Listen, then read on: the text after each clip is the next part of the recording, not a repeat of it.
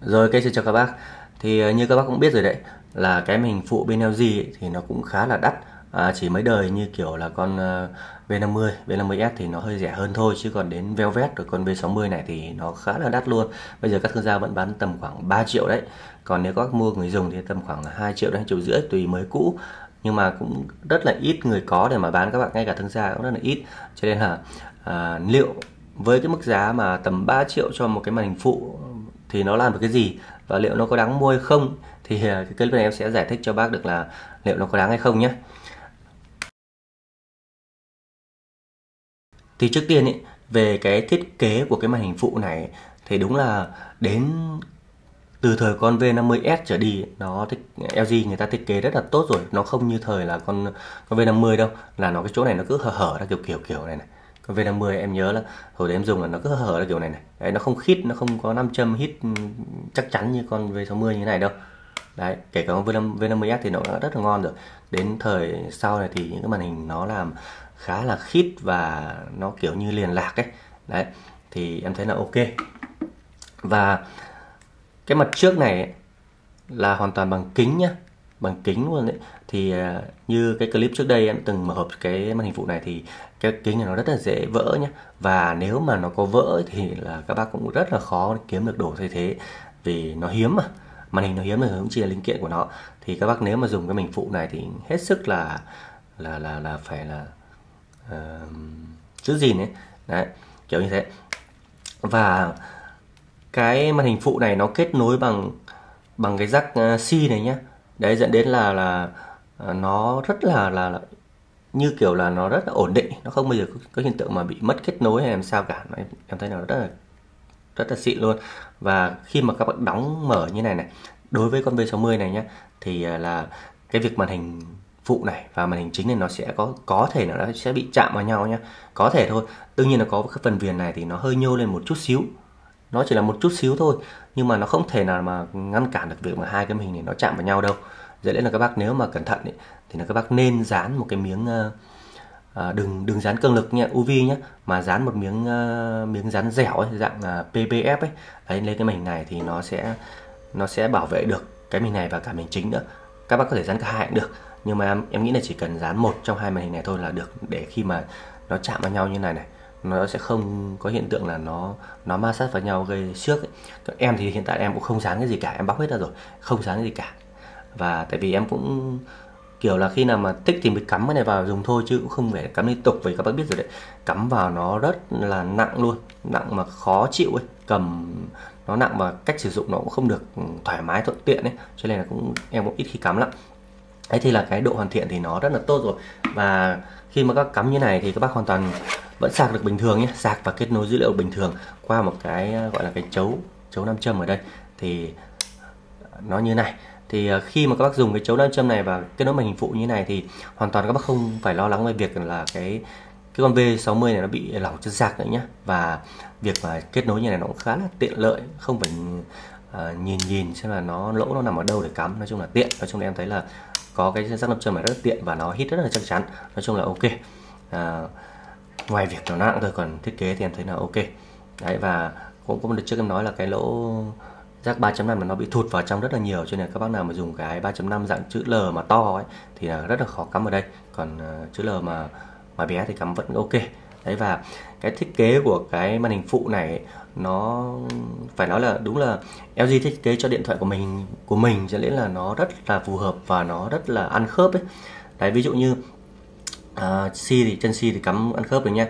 Nhưng mà cái chỗ ba cái nút uh, tăng giảm lượng này tăng này âm lượng này giảm âm lượng này và nút uh, Google Assistant này thì nó sẽ không thẳng hàng với ba nút ở ngoài này đâu nhá. Nó không thẳng hàng một tí nào đâu.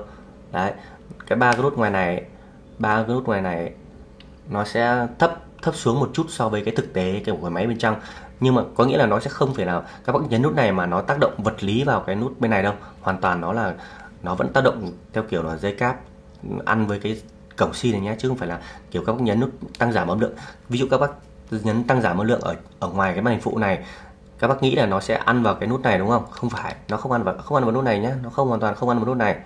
Đấy, và nó chỉ là nút bấm kiểu như này mà nó nó nghĩa là nó không thể xuyên, ăn từ xuyên từ cái màn phụ ngoài này mà xuyên vào cái nút cứng trong này đâu, hoàn toàn không có. Nó chỉ là kết nối bằng tất cả đều kết nối qua cái cổng xi này hết. Đấy, cho nên là nó nó nó khá là ổn định ấy. và tất cả các lỗ như kiểu là lỗ mic này lỗ mic này lỗ uh, ở loa ngoài này lỗ 3.5 này. Và ngay con V60 đây nó có một cái mic nữa này. Đây con V60 chỗ này nó có một cái mic nữa nhé và đây họ cũng làm một cái lỗ đây. Đấy nó rất là tinh tế. Nói chung là uh, nó là một cái ốp, kiểu là một cái ốp hoàn hảo luôn đấy các bác. Trừ cái phần này nó hơi bị cắt xém đi một chút xíu thì em thấy nó không được ngon cho lắm cho lắm đâu. Nó có thể gây xước hoặc là các bác nào mà cẩn thận thì không không không được hài lòng. Có thể là các bác bảo thu nhỏ này lại hoặc là làm liền được. Nhưng mà em nghĩ đây là một cái điểm nhấn để mà nó nó biết được con máy là con máy gì và nó có thể nó nó tạo ra điểm nhấn nó đẹp hơn đấy, và cái cụm cam thế nó họ làm rất là rất là liền lạc luôn. Nó nó chỉ là nó nó vừa nó nó nó vừa phải nó khít đấy nó không kiểu mấy cái ốp mưa ngoài. Đấy. Thế đấy thì nói về cái ngoại hình thì hơi nhiều rồi. Tiếp theo nói về từng cái nhé.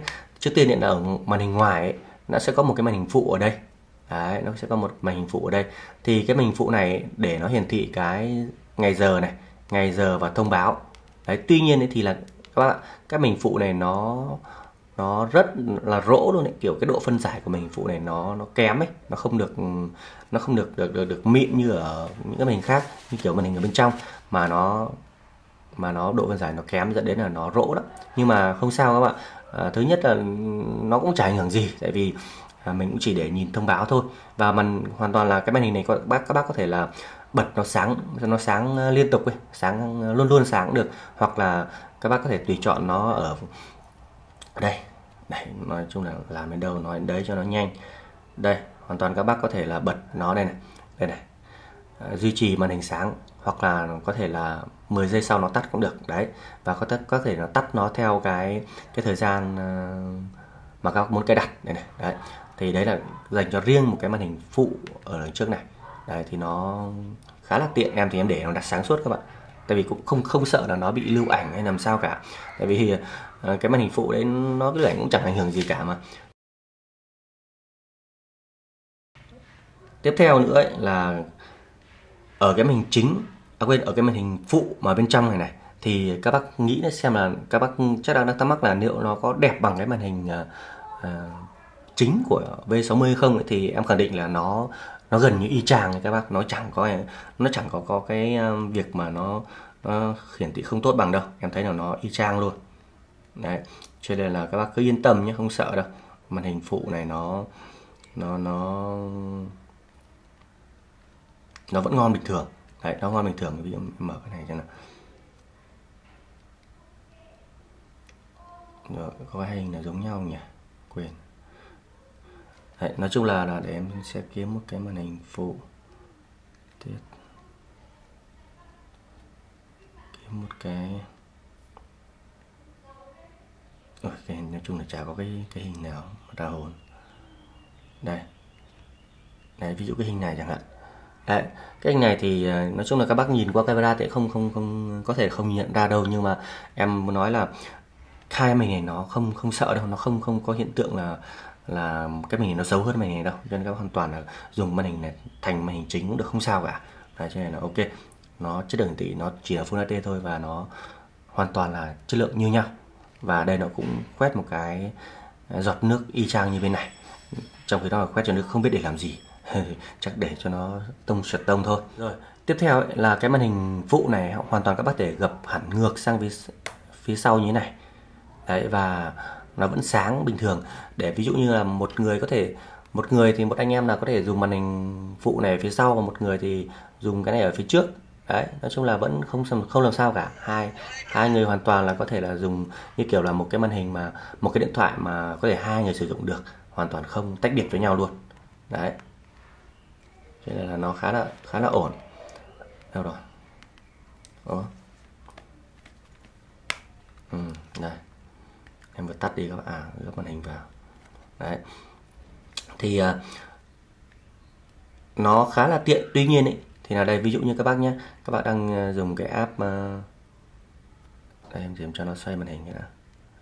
Đây ví dụ như dùng cái app uh, dùng cái app ví dụ các bác đang một bên ví dụ các bác để ở tình trạng này chẳng hạn. Hay các bác để tình trạng ở tình trạng mà dựng dựng kiểu nằm chữ V như này. Đấy mà úp xuống như này. Ví dụ một ông thì đang dùng cái bên này đúng không? Nó cũng dùng bên này. Nhưng mà nhưng mà nó có một cái hạn chế rất, rất lớn đó là cái màn hình ở bên này này. Đây các bạn nhìn đây này. Cái màn hình này nó lại không xoay theo chiều nó không xoay theo chiều chiều chiều uh, mà ví dụ ở ở này nó phải cái chiều nó phải phải dọc xuống dưới chứ đúng không? Nhưng mà đây nó nhìn này nó vẫn ở cái chiều này. Đấy nó ngược. Nó ngược như này thì ờ, không thể nào mà dùng được theo kiểu mà khi mà úp xuống như này mà để mà dùng được đấy, cho nên là có nghĩa là cái màn hình phụ này lúc nào nó cũng theo cái nó cũng phải theo cái chiều của màn hình chính này. Đấy ví dụ xuống đây là xuống cả đây là lên đây là lên cả. Đấy cao theo đây là lên cả xuống là xuống cả. Đấy, còn gặp xanh như này thì thì là bị lộn luôn. Thì là nó vẫn như thế cho nên là nếu mà để tình trạng này thì không dùng được. Cho nên phải để dọc mới dùng được. Đấy, thì nó cũng khá là bất tiện.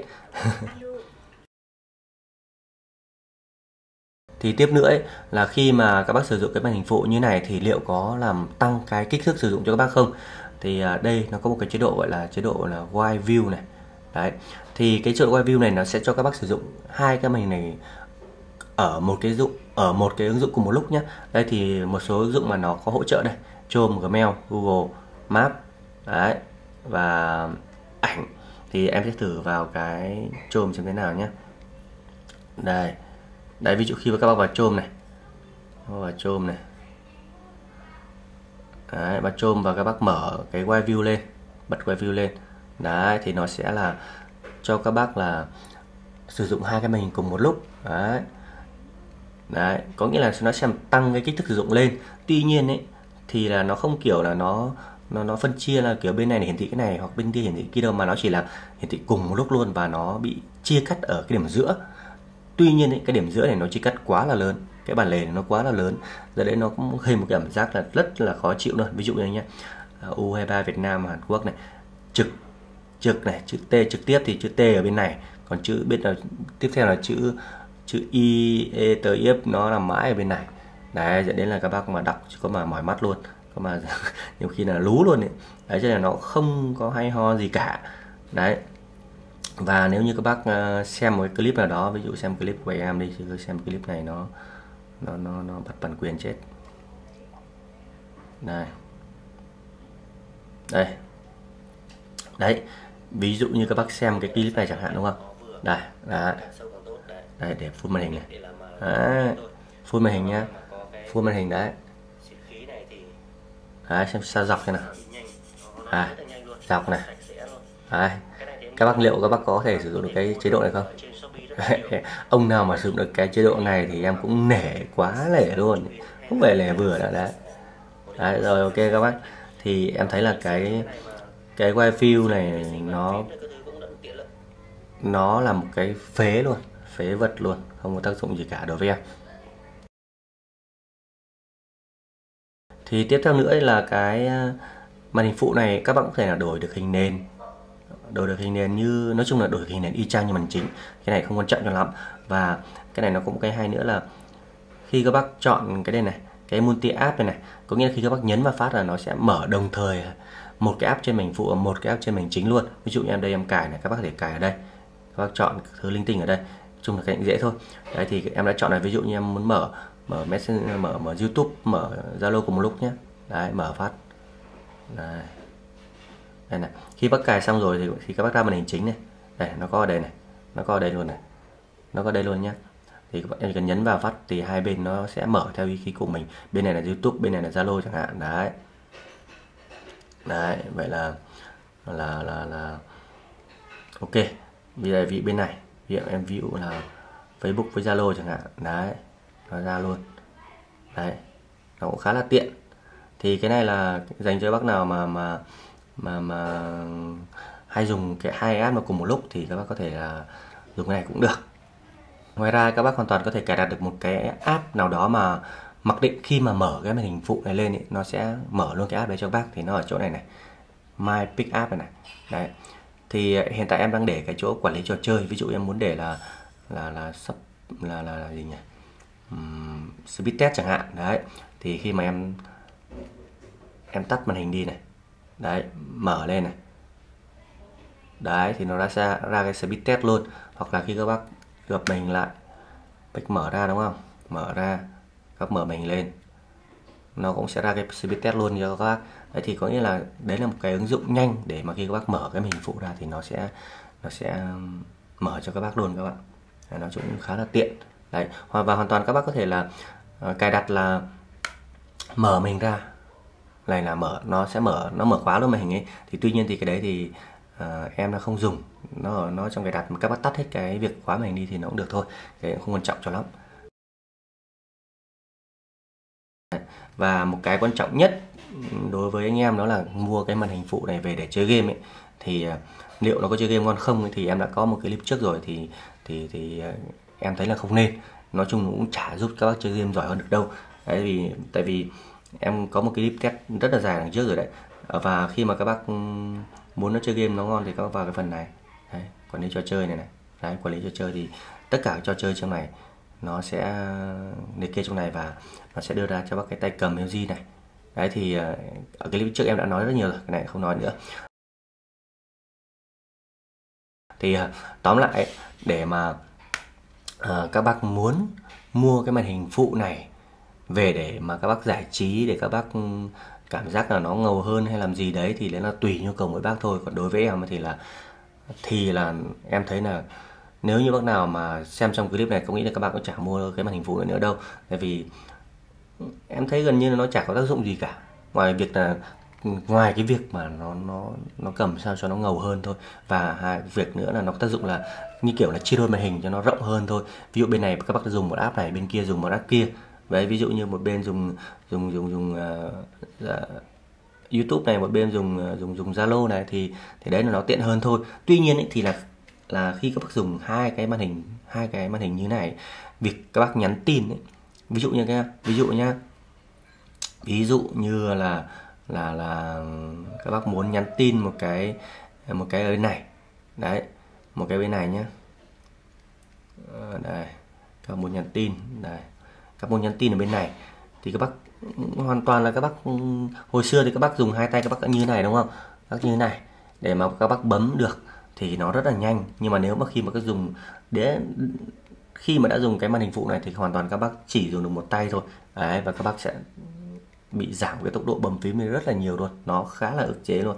Đấy, cho nên là là là nó cũng không có giải quyết được cái gì cả. Và thứ hai nữa là khi mà các dùng cái màn hình phụ này nó rất là nặng nha các bác. Đấy em đã thử cân cái kích thước của cân cái trọng lượng của nó rồi thì nó phải rơi vào gần nửa ký luôn đấy. Nó phải tầm 450 gram. Đấy cho nên là nó rất là nặng và nó nó bỏ vào túi quần đấy nó chẳng hợp lý tí nào. Bỏ túi quần nó nặng lắm tụt cả quần luôn các bạn các bác nào mà dùng quần chun thì chắc là thôi rồi tụt luôn.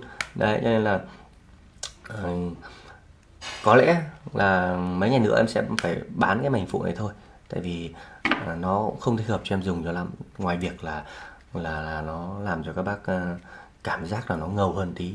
Đấy cầm này chơi game cũng vẻ kinh ấy. Nhưng mà thôi em cũng có chơi game mấy đâu. Và việc mà để hai mình phụ như này thì nó nó cũng nữa là tốn pin lắm các bác. Đấy em quên chưa nói đấy. Việc mà pin ở trên việc mà dùng hai mảnh phụ, mà dùng cái mảnh phụ này nó sẽ rất là tốn pin các bạn. Nó phải tốn ờ, nói chung là gấp đôi. Em thấy là gấp đôi các bạn. Nếu như các bác lúc nào cũng, lúc nào cũng dùng màn hình phụ, lúc nào bật nó lên thì chắc chắn là nó điều là gấp đôi luôn. Em không thời gian thời gian để em test thực tế là đúng là nó gấp đôi hay không, nhưng mà mà em thấy nó tụt như tụt quần luôn. Nó ờ, nó nó phải là gấp đôi đấy. Đấy tại vì hai màn hình nó, độ phân giải là như nhau mà. Độ phân giải như nhau thì chắc chắn và đều đều cùng một cái CPU như nhau. Đều dùng chung cái CPU dùng chung hết thì chắc chắn nó phải tốn điện gấp tốn pin gấp đôi lần. Ví dụ hồi xưa các bác dùng cái cái con um, uh, V60 này được khoảng 8 tiếng on đúng không? À, trung bình là như thế. Em em thường thường tầm em dùng như thế nhưng mà khi mà dùng cái màn hình phụ này mấy ngày này thì đúng là chỉ được 4 đến 5 tiếng thôi. Đấy, nếu mà dùng liên tục. Nói chung là em đã dùng cắm vào cái màn hình phụ này vào thì lúc nào chả phải bật nó lên. Thì cắm màn hình mà không bật nó lên thì cắm làm cái gì? Đấy thì nên là uh, các bác phải cân nhắc đấy nhé nếu mà dùng màn hình phụ này nó sẽ mấy cái nhược điểm thứ nhất là nặng này tốn pin này và nó không giúp ích được nhiều và không giúp các bác chơi game giỏi hơn. Đấy ngoài việc uh, có một cái ưu điểm lớn nhất đó là uh, chưa đưa màn hình tiện hơn. Đấy và cầm nó ngầu hơn. Đấy cầm nó nguy hiểm hơn thế thôi.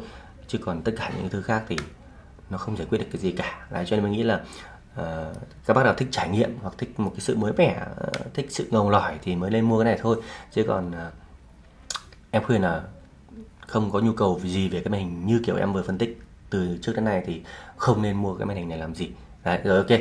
À, chúc các vui vẻ. Hy vọng là clip sẽ không làm các bác mà bán màn hình phụ nó bị uh, suy giảm số lượng đi nhé à, nói chung là em thấy là các bác có tiền thì vẫn mua trải nghiệm trải nghiệm chán thì bán. Tại vì con này vẫn cái cái màn hình phụ này vẫn rất là hiếm mà.